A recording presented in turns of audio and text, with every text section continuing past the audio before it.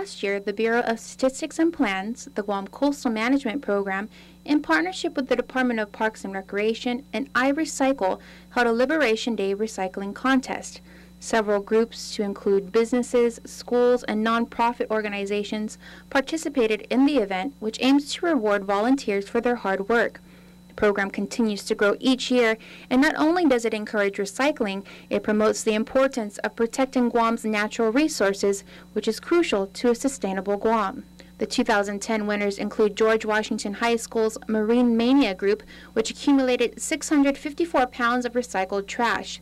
Coming in second place was the Ramirez family, collecting about 337 pounds of aluminum and plastic.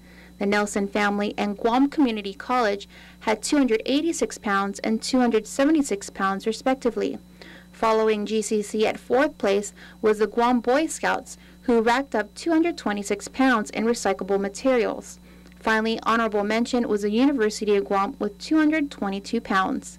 The winners will be presented their free Liberation Day parade permits tomorrow at the DPR office in Agana Heights. For those interested, the contest will be offered again at the 67th Liberation Day Parade. Details will be announced tomorrow at the awards ceremony. For more information, you can call Christine Camacho or Tom Canetta at 475 9666. With this week's Think Green, I'm Joan Aguon Charfauros.